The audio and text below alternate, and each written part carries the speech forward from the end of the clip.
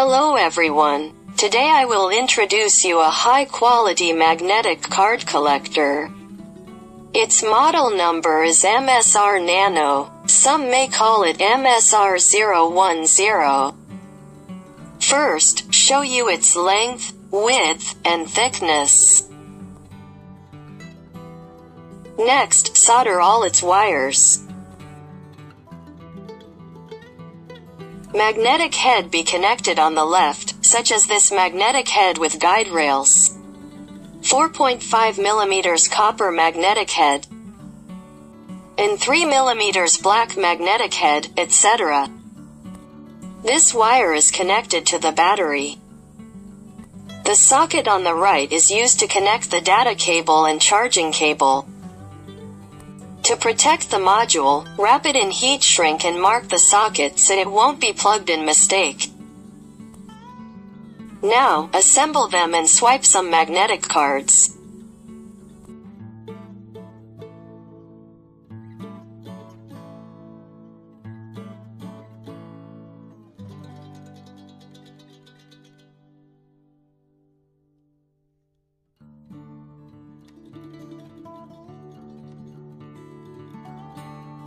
When the light flashes once, it means that a data is collected.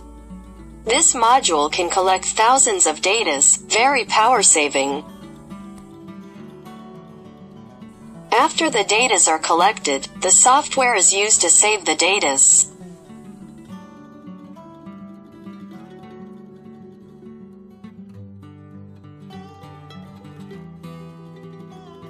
Now demonstrate this software. Insert the data cable correctly. Password 0000.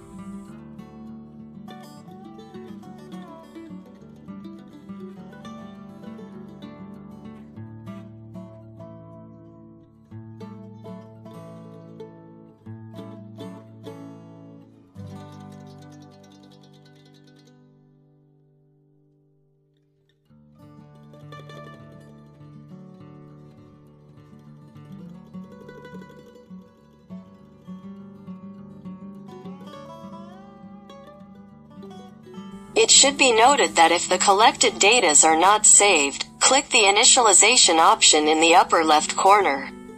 The datas collected in the module will be erased. Well, the software is demonstrated here, you can study it carefully through the manual. If you think MSR Nano is a little thick, I recommend its upgraded version to you. I call it MSR Nano Pro. Pro and MSR Nano have the same length and width, but the thickness is only 1 mm.